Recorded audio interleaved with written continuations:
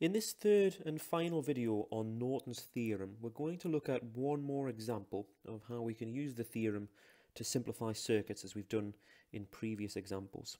Uh, but the example that we see before us here is just slightly more complicated by the fact that we now have two power supplies in the circuit. And you'll see that our output terminals, A and B, are now in the center of the circuit. So we're going to tackle this problem using the same three steps as we've done previously. But what we're going to do is we're going to use the superposition principle, um, which is hopefully going to help us solve this problem.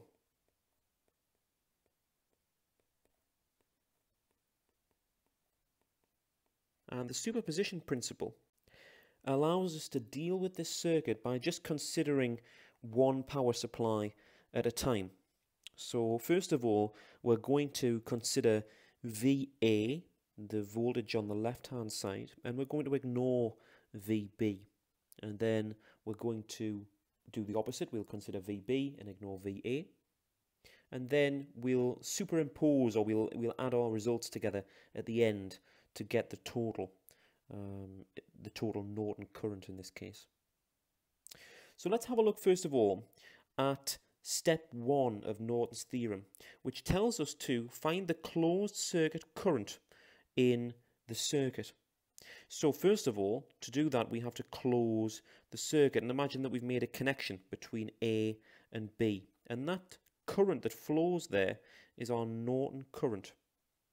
Now, in reality, we've got two power supplies here. We've got our 9 volt uh, cell on the left hand side, which is going to supply a current through um, from terminal A to terminal B. And there's also a current that emerges from VB, the cell on the right hand side there, which will also be supplying um, current from A to B. And so what we're going to have to do is deal with these separately and hopefully come to a total um, result at the end. So first of all, let's imagine that we remove VB from our considerations to begin with. And the way we're going to do that is simply just short out that cell. So what I can do is just remove that cell from the circuit and replace it with a short circuit. I'm just imagining there's a wire there in its place. So I'll mark that on there as a short circuit. And now I want to consider the current that flows around this circuit. And we've got to be careful to look at the layout of the circuit starting from the supply. So if we look at our circuit here, starting from VA, the cell, we have a current that flows through R1. We reach a junction here at the top of the circuit in the middle there. And we have a choice. We can either flow uh, through from terminal A to terminal B through a wire back to the supply, or through a resistor back to the supply. Now, we know the old saying that current takes the easiest path. Well, in this case, what's going to happen is because uh, there's a wire here which has zero resistance, we've short-circuited R2. None of the current that emerges from the cell is going to flow through R2 in this case because why would it when it could just flow through a wire here from terminals A to B. So what we'll find is that our current path takes the, the form of uh, going through R1, straight down through A uh, and B, back to the cell here. And we have no current flowing this way through R2. So our equation to work out uh, the current in this instance, the Norton current, or at least part of it, is very simple. I'm going to mark it as IN, the Norton current, brackets A. I'll just put a small subscript A there because I'm just dealing with this one cell for now. And we can say that current is voltage divided by resistance, so in this case 9 divided by 120. And that gives me a current of 0.075 amps. Well, I can better express that by multiplying by a factor of 1,000 uh, and saying that's the same as 75 milliamps. What we're now going to do is the opposite. If we go back to our original diagram here, now we've, we've put uh, VB back into the circuit, we're going to do the opposite and remove VA from the circuit. So I'll do that here by just erasing this cell from the circuit. We're just going to, like before, imagine that that cell is just a short circuit. And we're going to repeat the process here and think about the current that's going to flow um, through from A to B caused by the cell on the right hand side, VB. So looking at VB, we can see that current's going to emerge from the cell. It's going to flow this time through R2. And again, we reach this point here, this junction, where current is presented with a choice. Is it going to flow through a resistor with, an, with a resistance, or is it going to throw, flow through a wire, which has zero resistance? Well, in this case, all of the current is going to take this path from A to B. So again, we're left with a fairly simple equation here because we can say that IN, in this case IN bracket B, because it's the current um, sourced from VB, is equal to 6, which is our voltage on the right hand side, divided by 270, the only resistor that's uh, in the circuit in this case. If I calculate that uh, 6 divided by 270, I get an answer of 22.22 milliamps or 22.22 times 10 to the minus 3. So finally, my Norton current is simply the summation or the total of these two separate currents. VA on the right hand on the left hand side, sorry, supplies me with 75 milliamps from terminal A to terminal B, and VB on the right hand side supplies me with 22.22 milliamps. And so the total current IN or the Norton current is 97.22. 97.22 milliamps. If I return to the original diagram here, we've completed step one of Norton's theorem, which is to work out the current flowing from terminal A to terminal B, the closed circuit current. Step 2 of Norton's theorem is to work out the open circuit impedance from terminal A to terminal B. So you'll notice that I've now removed the closed circuit uh, connection that I had between A and B there. It's an open circuit again. And I need to work out the impedance or the resistance starting from terminal A and going through the circuit back to terminal B. So if I have a look at this circuit, first of all, I can simplify things a little bit by just imagining that I've short-circuited both of these supplies. Whenever we're calculating the open, the open circuit impedance, I can just short-circuit any voltage sources that I have there. And starting at terminal A, moving up, I immediately come to a junction here. And so this junction is where we split and we can either go to the left through R1 and back around to terminal B, or go through the right through R2 and back around to terminal B. And so because we have two different paths there, these two resistors R1 and R2 must be in parallel.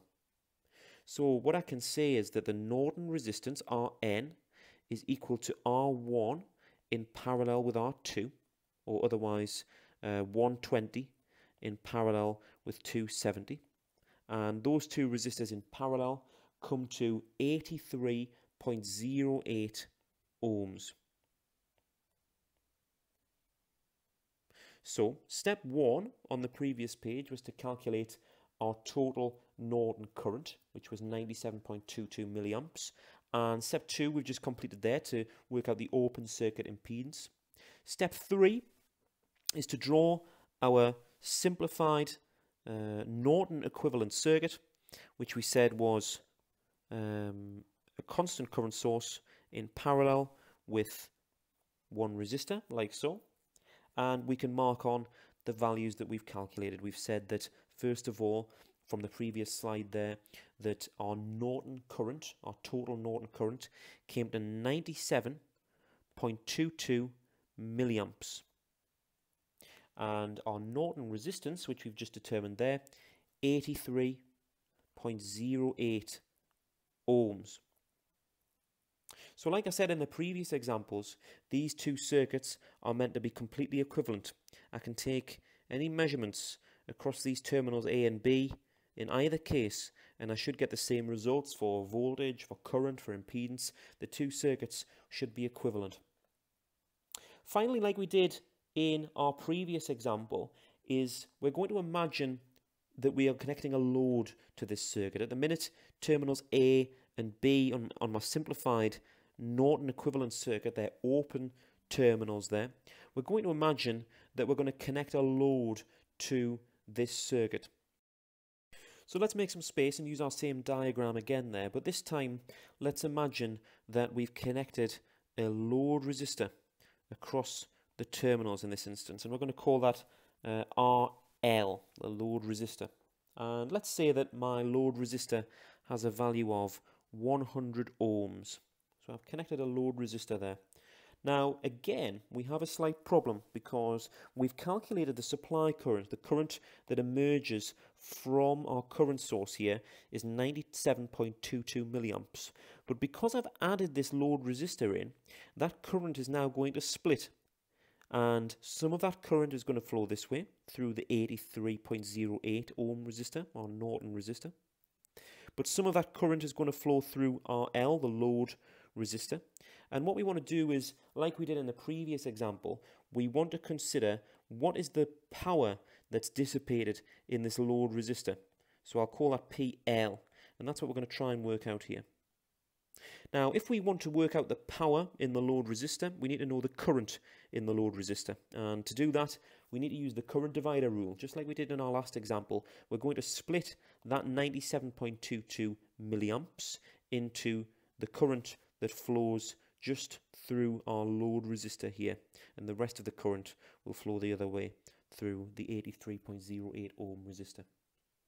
So setting up the current divider rule like we did in our last example, we're going to say that IL, the current in the load resistor, is equal to the supply current, which in this case is 97.22, multiplied by a fraction. And like we always do with the current divider rule, whichever current that we are interested in, or whichever resistor that it's flowing through, we always put the opposite resistor on top. So in this case, we're very interested in this current that flows through the load resistor, because that's going to allow us to work out the power. But because I'm interested in this current, I need to put this resistor on top, the opposite resistor.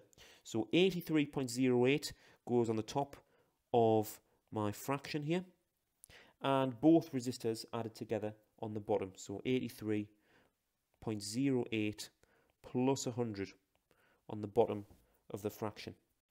And if I calculate that, I get a load current of 44.12 milliamps. Or 0.04412 amps, but I've expressed that in milliamps there. So finally, I need to work out the power in the load resistor. And the same as last time, we're going to use the formula P equals I squared R. But it's the power in the load resistor. So it's the current through the load resistor that I'm interested in, IL, and it's the resistance of the load resistor, RL, that I'm interested in. So there's our formula there. And we can set that up like so. We can say First of all, we know what I is. We've just worked it out, 44.12 milliamps. So uh, if I'm being correct in expressing that in SI units, I'll say that it's 44.12 times 10 to the minus 3 amps. So 44.12 times 10 to the minus 3. But remember, it's I squared, and so I'm squaring all that in brackets there. Multiplied by RL, which we know is 100. So there's our formula for the power in the load resistor. And as an answer there, I get 0.19466 watts as a value of power. But we can do better than that. By multiplying by a factor of a thousand, we can say that that's the same as 194.66 milliwatts. So hopefully this final example of Norton's theorem has been useful to show how Norton's theorem, first of all, can simplify our circuits down to a Norton equivalent circuit consisting of just one constant current source and one resistor in parallel. But then we've gone a little bit further and we've added our load resistor in this case 100 ohms and we've worked out the current in this load resistor and finally the power dissipated in this load resistor as well.